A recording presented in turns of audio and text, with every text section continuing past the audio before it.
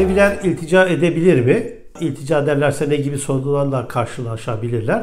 Bu konu hakkında bilgilendirme yapacağım. Evet değerli dostlar, ilticada aranan şartlarda en önemli kural özellikle Birleşmiş Milletler Mülteci Hakları Sözleşmesi'dir. 28 Temmuz 1951 tarihinde imzalanmıştır. Dünyadaki bu sözleşmeyi imza atan bütün devletler bunun 1'e 2 ve 33'e 1 maddesinde yazan kurallara uymak zorundalar. Özellikle neyi bakıyorlar burada? Bir yabancı ırkı, dini, dili, tabiatı, sosyal gruba mensubiyeti ya da siyasi görüşleri nedeniyle ülkesine, vatandaşı olduğu ülkeye ya da oturum olduğu ülkeye geri gönderildiğinde hayatı ve özgürlüğü tehlikedeyse, zulme uğrayacağına dair somut korkuları varsa, devleti korumuyor ve korumak istemiyorsa o zaman diyor iltica etme hakkı verilir, mültecilik hakkı verilir diyor. Özellikle Alevi dostlarımız bu Türkiye'deki şu an mevcut seçim çok önemli ve Kürt, Türk, Alevi, Sünni çatışması hortlatılıyor. Böyle bir dönemde Alevilere yönelik eğer eylemlerde Allah göstermesin bir negatif yönde gelişme olursa Alevilerin de tabii ki iltica etme hakları bulunuyor. Ama sorun şurada. Neden diğer Alevilerle hükümet uğraşmıyor da seninle uğraşıyor sorusuna cevap bulmak lazım. Eskiden 70'li yıllarda, 80'li yıllarda, 90'lı yıllarda Kürtler, Aleviler, solcular geldiler, iltica ettiler, kabullerini aldılar. Bakan oldular, milletvekili oldular, belediye başkanı oldular. Onlar hayatlarına devam ediyorlar. Şu an Türkiye'de mecliste Aleviler, Kürtler var. Her partide Alevi var. Her partide Kürtler var. Belediye başkanları Aleviler var. Gazetesi olan Aleviler var. Televizyon olan Aleviler var. Neden devlet onlarla değil de seninle uğraşıyor sorusuna cevap bulmanız lazım. Türkiye'den gelen ilticacılara, mültecilere, siyasi sığınmacılara Avrupa siyasi gerekçeleriniz var mı gözüyle bakıyor. İran'da din değiştirildiğinde iltica sebebi sayıyor. Irak'ta ezildiyseniz bunu iltica sebebi sayıyor. Ama Türkiye'den Aleviyseniz bu tek başına iltica sebebi değil. Evet, iltica başvurusu için geçerli bir sebep ama hükümet seninle neden uğraşıyor? Hani Alevilerle ilgili işte Kızılbaş, mum söndü, kapılara çarpı konması gibi aşağılayıcı, insanlık dışı, onur kırıcı ifadeler kullanılabiliyor. Evlerine çarpı konulabiliyor. İşte Madımak olayı ortada. Geçmişte yaşanan bayağı bir zulüm vardı Alevilere yönelik. Ama şu an Alevilerin okuyacağı dergileri, gazeteleri, televizyonları var. Gidebilecekleri cemevleri var. Şu an Alevilere yönelik herhangi bir yaptırım negatif manada. Bugün Türkiye'de Gülen Hareketi mensuplarına yapılan zulüm Alevilere yönelik yok. Avrupa bile herkese Gülenistim diyene, hizmet hareketindenin diyene kabul vermiyor yani. Çünkü burada aradığı şart sana ne oldu? Hükümet seninle neden ilgileniyor sorusuna cevap bulmak gerekiyor. Bu sebeple toplum tarafından dışlanıyorum, aşağılanıyorum. İşte polis bana dayak attı, miting yaptım, dövdü, gözaltına aldı, evimi bastı. Şularım arkadaşlarım iş yerinde beni dışladı. Baskı görüyorum dediğiniz ifadeler çok geçerli değil.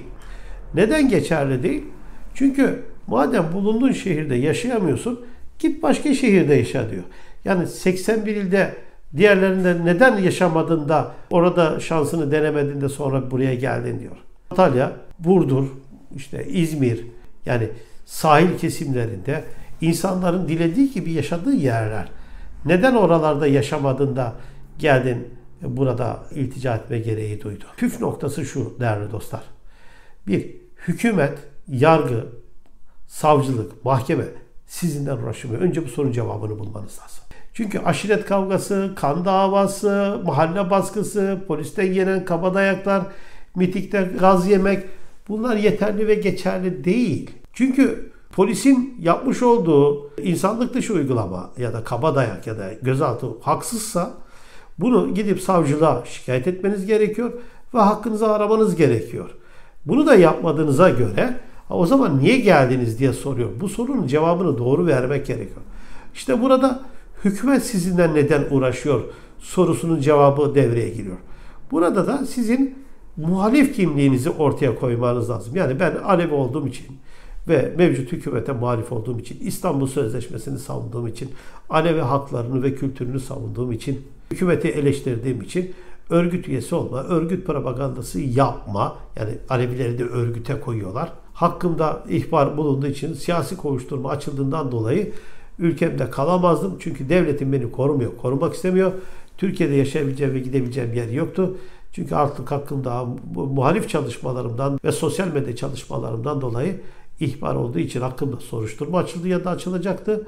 Bundan dolayı GBT sistemine eklendim ya da eklenecektim. Bunun için Türkiye'de gidip gelebilecek, kaçabilecek herhangi başka bir yerim olmadığı için mecburen kaçmak zorunda kaldım.